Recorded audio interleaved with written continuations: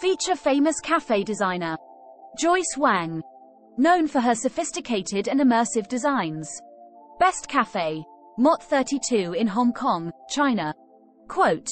Design has the power to create experiences that touch people's emotions.